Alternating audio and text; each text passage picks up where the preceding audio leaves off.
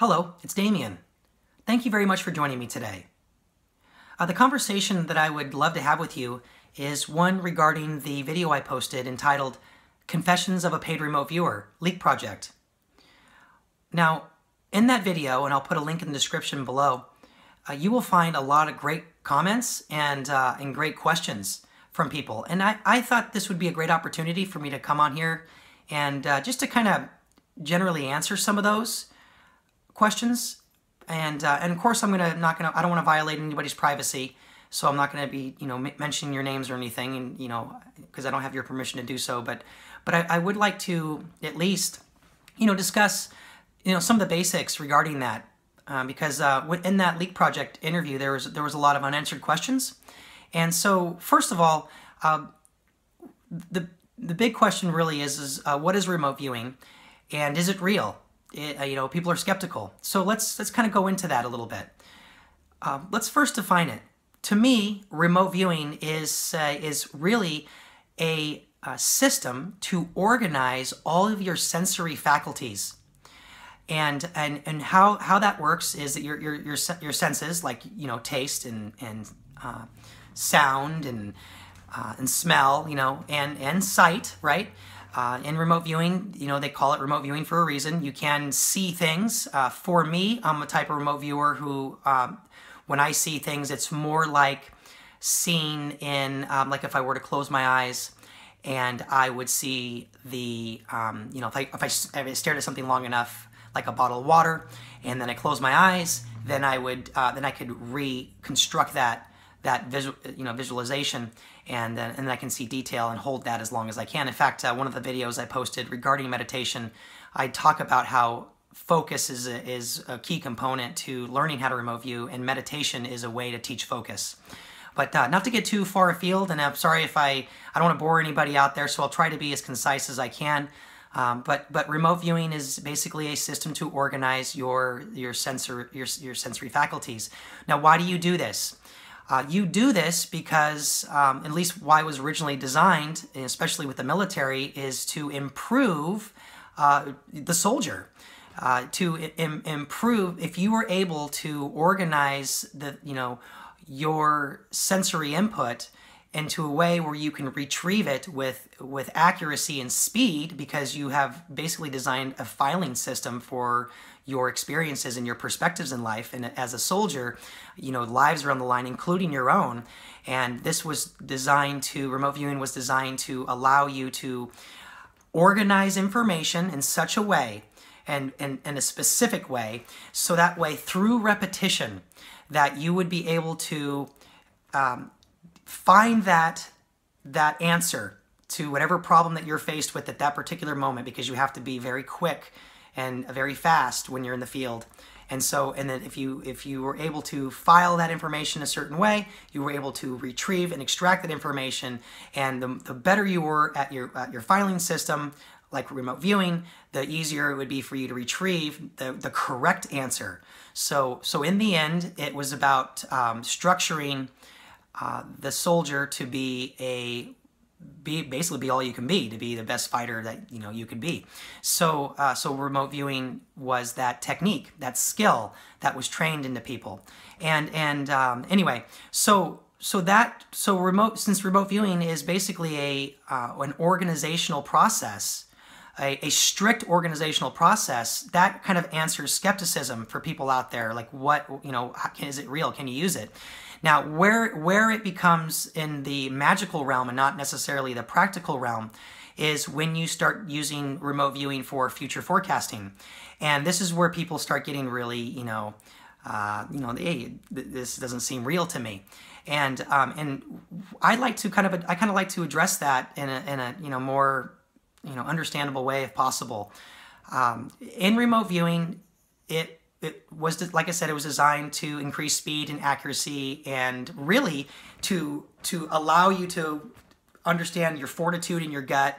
Um, you know, it, allowed you to uh, have you know uh, hopefully your intelligence in your mind and your memory in your heart. And if you had these these systems to where they were working independently, but yet uh, but yet collectively in harmony, then um, then when they work together, you can derive answers immediately. So at least that was the theory. So, um, so so with with remote viewing, the structure became the the most important aspect to it to uh, to make sure that everything was put in its proper place.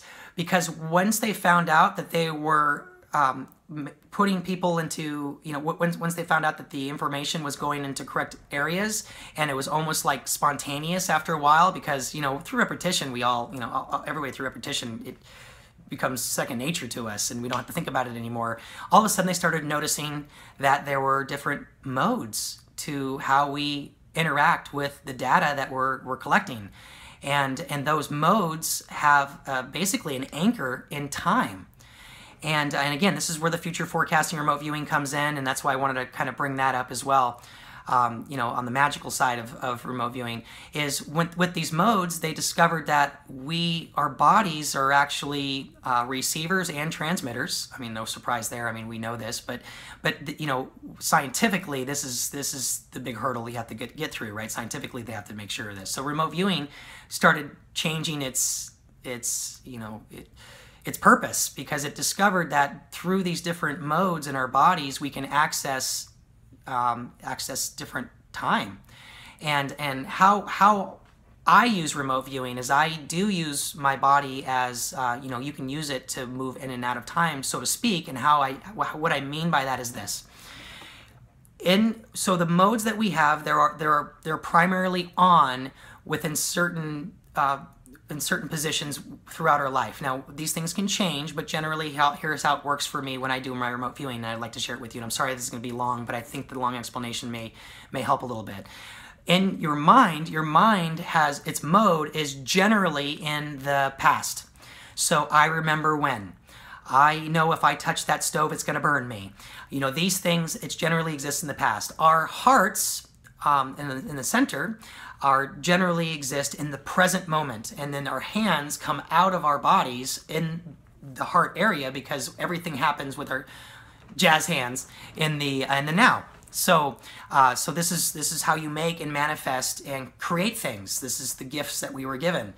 Um, also in remote viewing not i don't want to get too far in the minutia as well with it but in remote viewing how i use it as well is i my right hand path is my um, electric and my left hand path is my uh, my magnetic. And and so so my so when I feel drawn into something then I feel the left I, I let my left hand path so to my left hand sort of guide me. Um, and if I am looking at a focus or intention or something very specific um, I will allow my um, you know the electric aspect of you know its its purpose then I'll, I'll let my right hand guide me as well. So I, I try to use my body as a um, as a measurement and as a, as development as well. Uh, so anyway, so most remote viewers are actually uh, mental remote viewers, and and me, I'm not I'm not really that type of remote viewer. Um, I, am a I'm a body I'm a body remote viewer, and I use I use elemental uh, remote viewing as well. That's a, a, little bit different. It's kind of my it's kind of like a hybrid um, type of remote viewing. Uh, and the reason why I, I, do that over the mental remote viewing, like you hear most often with the future forecasting uh, side, is um, for me, I like to separate things as much as I can because that helps me get higher definition and detail, and that's what you're doing in remote viewing is you're trying to extract higher definition and higher detail regarding the object thing idea that you're you're trying to observe. And again, uh, regarding the past, present, and future aspects to this, um, so the, the, the mind is the uh, generally the future aspect, the heart is the present, and then you have the gut. And the gut is really where um, where you uh, where I find future events, where I look into future events is through the gut, because the gut is where my intuition is. The gut is where my emotions and my feelings are. And and and what happens is is that if I don't, if I can't emotionally anchor to the future event, then I don't consider it to be real for me so that this is how I this is how I try to st- this is how I personally stay away from targets that are um, not true, is because I won't get information uh, that you know I won't get accurate information because I can't emotionally attach myself to the target, which mean which means to me because the way I am I have intuned my body, which means to me then then I don't um, then there's nothing there for me to experience and have a perspective on. Because um, also, in regard to remote viewing, too, is that every single target that you look at, every one, you are observing and you are absorbing, and you leave something with the target just as much as you take something from the target. So you take knowledge or information, whatever it is you're looking for, but you got to remember you are leaving a part of you with it as well. So now you have a relationship through time, regardless of past, present, or future, no matter what, you have a relationship with that. So um, one of the great questions I got again was, you know, why did you quit?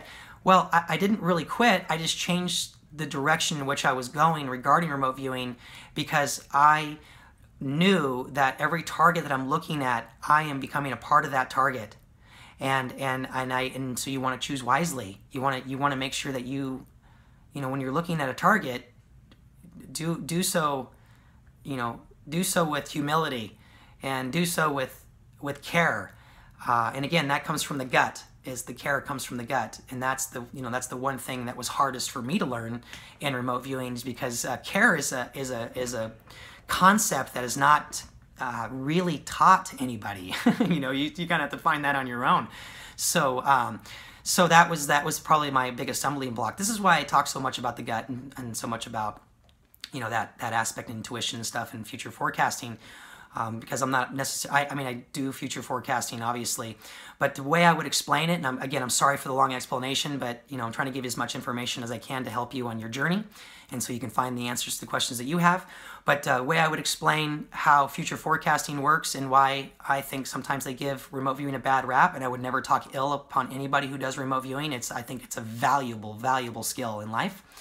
But, um, but it's, I, I, I treat it like it's like a fire hose uh, if you are looking at you know three, six weeks in the future, a day in the future, whatever, you're holding on to a fully functioning, fully blowing fire hose right at the nozzle, so you can pretty much control it okay you know you can you, you, you can kind of see where things are going to go. You can see the trends. You can see the motion and the action you know and what what's going on. So it's easy to kind of pick up on you know what's going to take place based on the the things that are the pieces that are already on the field and and moving and and, and reacting as long as you are aware of of um, you know your surroundings so, uh, so, but then if you want to look further into the future, you have to move back further on the hose, and then the the further you go back on the hose, the further in time you're looking in the future. And that hose, when you go further in the fu- in the future, that hose gets you know real real unst- you know it's, it's blowing all over the place. You can't really control it because you got too much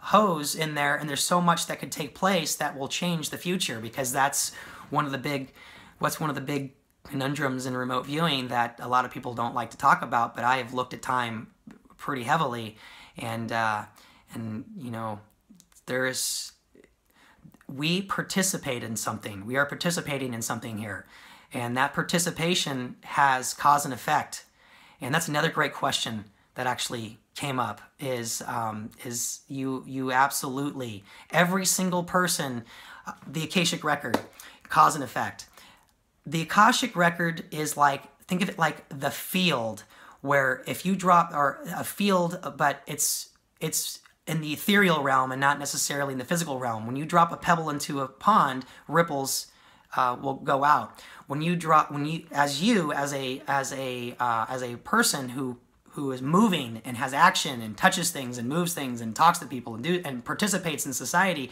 there's actually uh, in the ethereal realm if you will and you know that you can pick up on this or the akashic record as they call it they send ripple it sends ripples out and all of this this action this these waves are all interacting with each other. And what you do how you access the akashic record is you you literally have you have to have such focus again meditation and it will help you with that, where you can follow the ripples like a chain of events. You can follow the ripples until you find that unique frequency that you're looking for, and you can do you can do this quickly because um, what's crazy is is we can process information very very quickly. Our minds can. We can file these things very very easily. So you can lose 99% of of all the minutia out there when you look into the akashic record and find that 1% that's similar very simply because all you're doing is you're saying, okay, I don't need these frequencies, I don't need those frequencies, which leads me to another uh, question where, yes, this, this system is based on frequency to a, a very large degree. And, um, and I would point you in the direction of the solfeggio frequencies. um, and I would point you into the direction of, of uh, cymatics. And, and these also play a role in, in how to tune to the right frequency when in your remote viewing uh, sessions, how to pick up the right data and pick up the right information. Now I know I'm giving you guys a lot of a lot of information here and a lot of data. I don't want to I don't want to like beat you over the head with it, but I would like to address one more thing, and that is regarding uh, imagination. And another great question: How do you tell the difference between your, what your remote viewing and what imagination is? And and for me, um, I'll share that with you, and then you guys, you know, can work with it in your practice if you want. But um, what, when, when I'm doing my remote viewing uh, sessions, and, and usually they take, you know, about two hours if you do it correctly, and it's very intensive.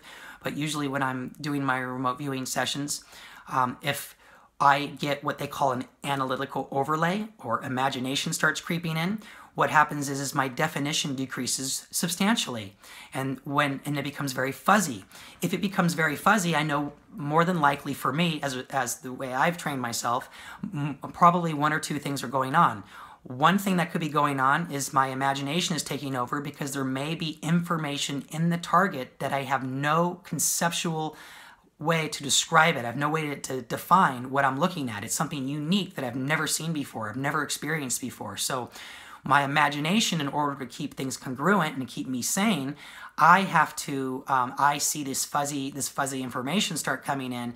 And of course i'm a curious person so what do i do? I, immediately want to want to look at it. I immediately want to pick it apart. You know i want to see what it is. And uh, and then uh, by you know by doing that i can find out is it my imagination filling in the blanks? Because that's what it's used for for me. Imagination is a great tool or is it me not being interested in the target that I'm looking at and I'm now creating something that is more akin to something I would be interested in. So I'm actually, uh, inv- I'm actually moving my uh, abilities into a different target, which is how you get a miss in remote viewing. So, um, or you have a target that your threshold detection is so low on that you just can't pick it up because you're not um, you know, you can't pick up on something. You can't pick up on a set of car keys, you know, as opposed to you can pick up on, you know, the pyramids of Giza. You know, there's a lot of emotional content in the pyramids of Giza that you can anchor yourself into. So therefore, but there's not necessarily a, a, lot of emotional content in the set of car keys that belong to somebody you've never met before.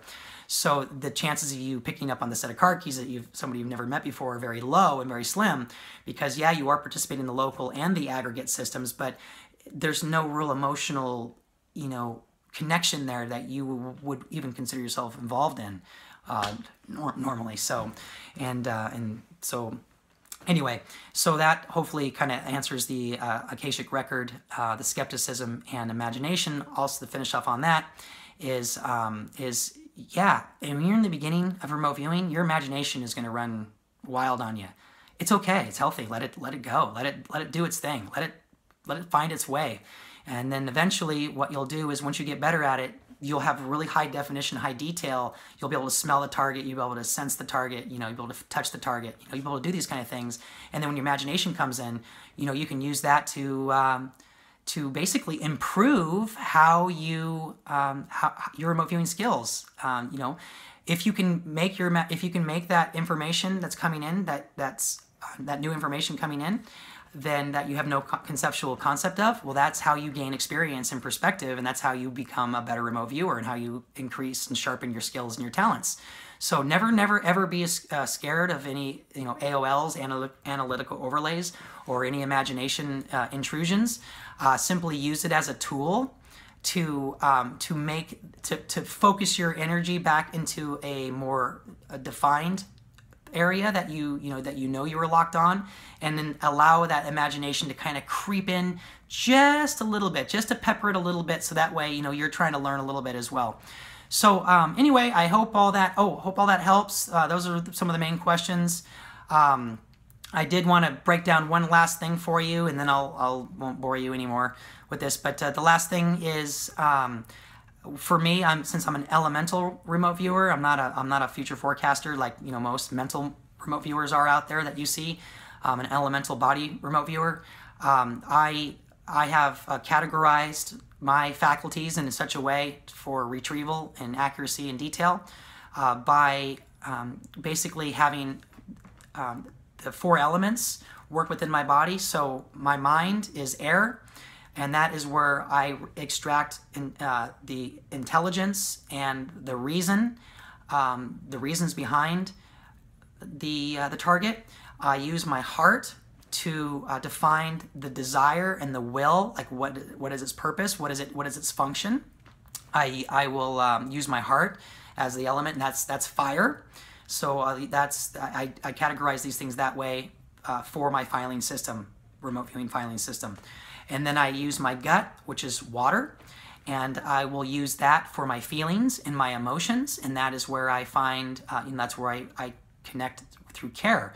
Uh, what, the, what is it that I care about? This is what's so cool about remote viewing. Every single remote viewer, and this is another great question that came up in the in the thing. Every single remote viewer is unique, and and they are an individual all into themselves, and they see and they sense in their own way, and and that makes it such a, a valuable tool and skill. And I think this is why the military wanted a lot of people to learn about it too, because they discovered this and they they think of it like this. Think of a dark room. You throw one candle into that dark room in other words one remote viewer into that dark room and you're going to see a little bit.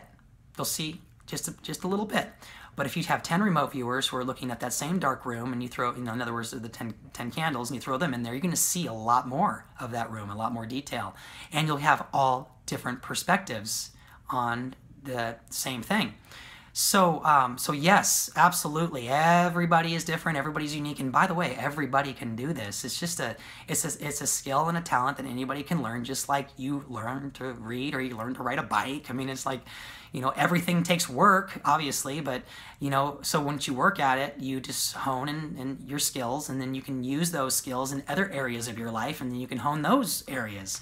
So this is why I want to share with you about remote viewing, and I, you know. I'm happy to answer all your questions uh, regarding this as well.